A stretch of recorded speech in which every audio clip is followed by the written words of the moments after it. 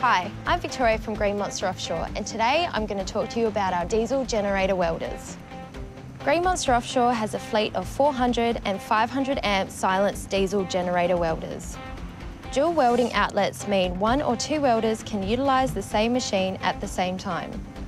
All models also operate as a 15 kVA generator, complete with onboard single and three-phase GPOs.